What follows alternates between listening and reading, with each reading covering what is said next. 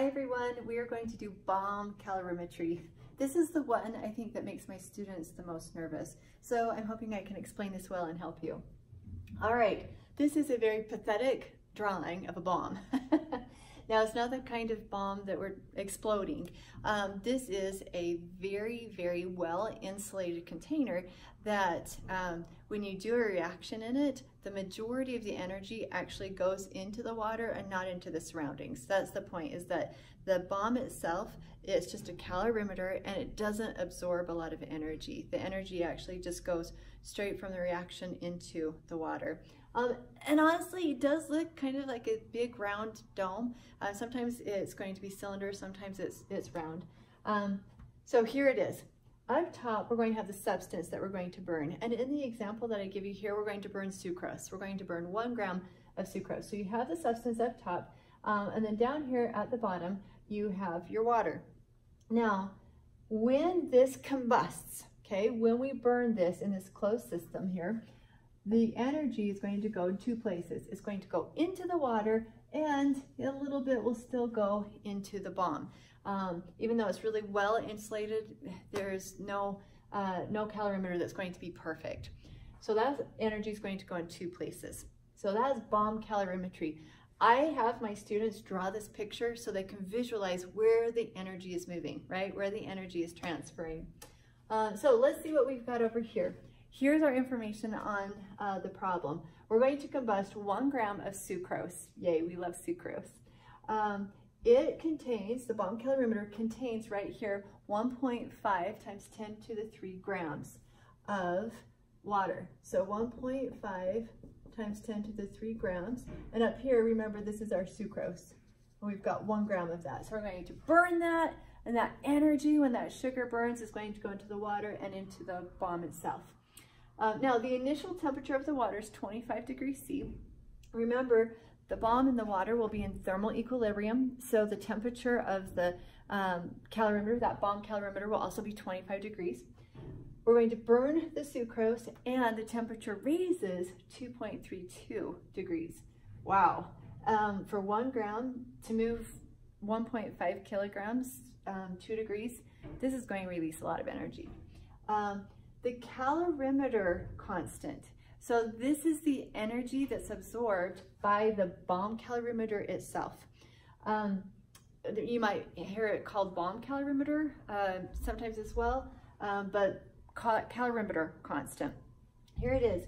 For every one degree that you increase the temperature inside this bomb is going to absorb 837 joules, okay?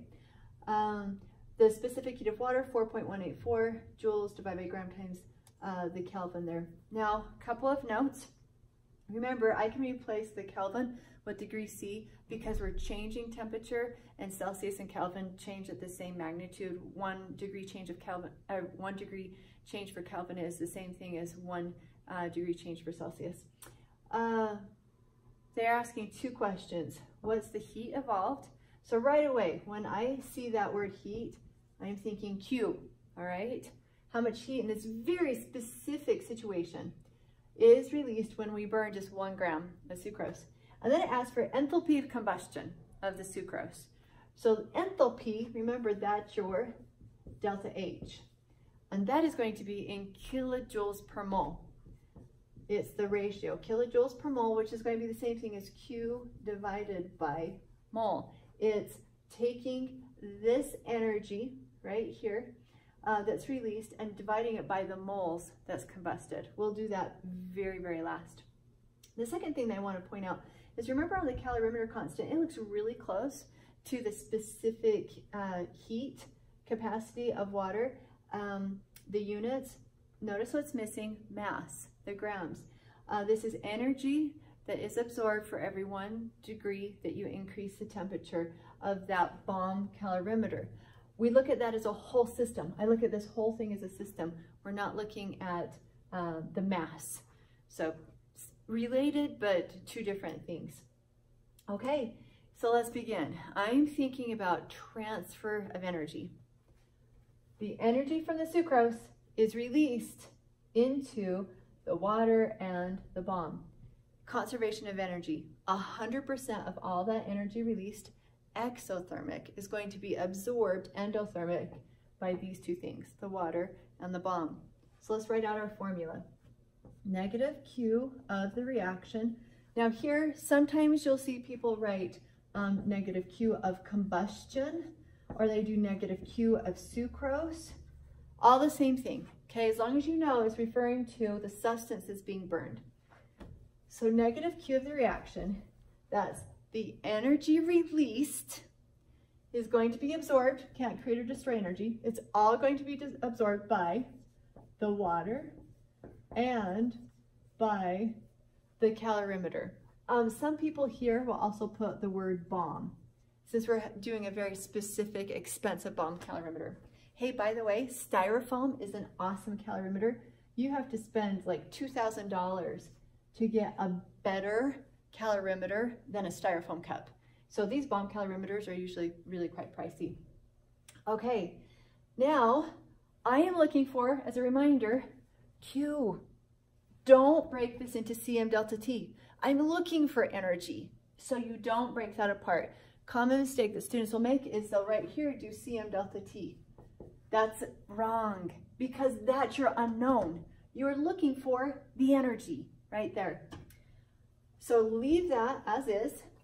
We're going to have negative Q equals Cm delta T for the water plus, okay, breaking this out, the um, energy of the calorimeter, remember that formula is the calorimeter constant times delta T, times delta T. So looking over here, we have all of our information. We can go ahead and plug in.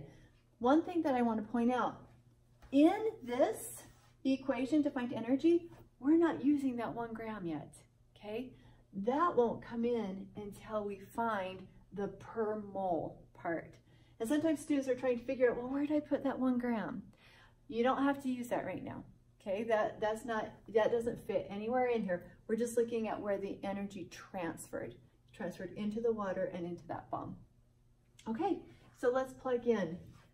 I'm going to change markers. It might be a little bit easier for you to see all of these numbers. Okay, so negative Q of the reaction equals specific heat of water, 4.184 joules by grams. I'm going to change that from Kelvin to degrees C because I have my temperature in degrees C times the mass of the water.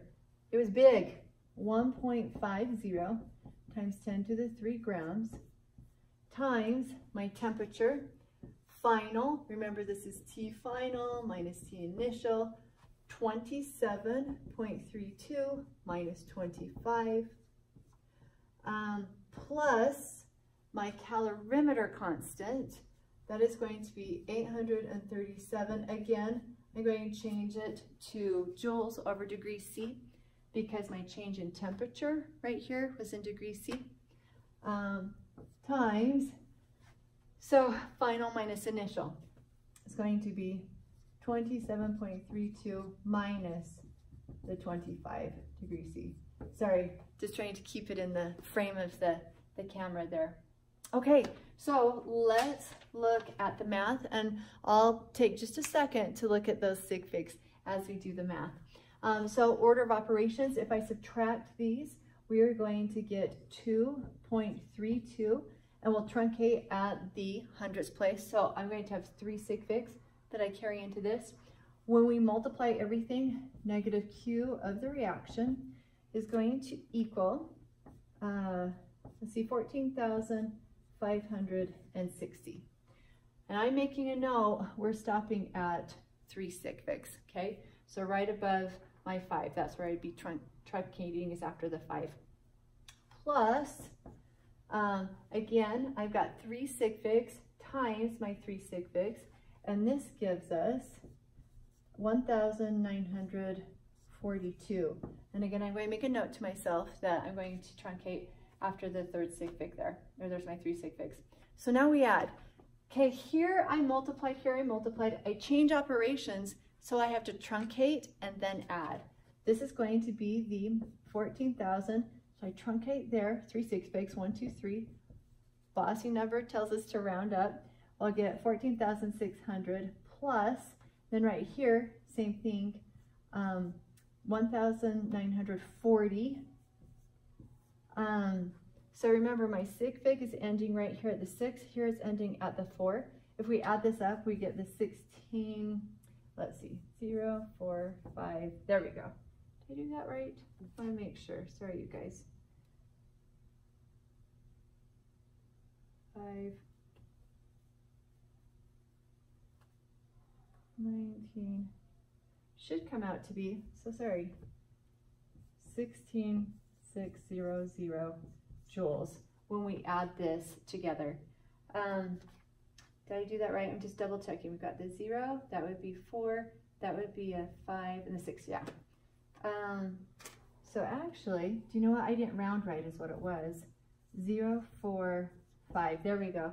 Um, one, six, okay. There we are. uh, now, least digit when I'm adding is actually right here at the hundreds place. So if I truncate right there, that means that we're going to have 16,500 joules, okay? 16,500 joules to truncate at the least decimal place, which was at the hundredths place, uh, hundreds place. All right, now here's the big question. What did we find? What is that? Let's come back. It was Q of the reaction. Um, I'm going to go ahead and bring the negative sign over so you can say Q of the reaction is 16,500. That means for every one gram of sucrose, 16,500 joules is released. So there's our first answer.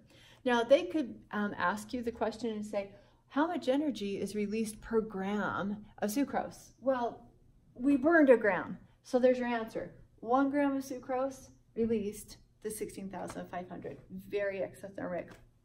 Now, the delta H. So, a reminder on delta H. It is kilojoules per mole of substance. They want to know the enthalpy of combustion, so the uh, energy released to combust the sucrose. Remember, kilojoule per mole. So I've got to bring this energy to kilojoules. Well, that's easy. We're just going to divide by a thousand. There are a thousand joules in one kilojoule. So that will give us negative 16.5 kilojoules. Okay, easy enough. Now we've got to find the mole part. So the mole part of this, um, I take my one gram of sucrose, C12H22O11, and I've got to bring it to moles.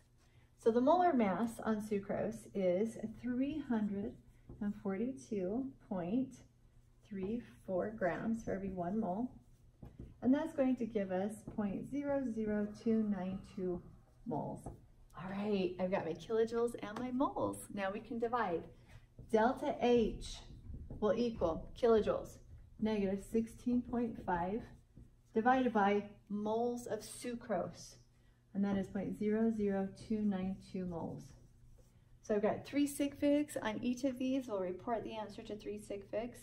And the answer is 5,680 kilojoules per mole.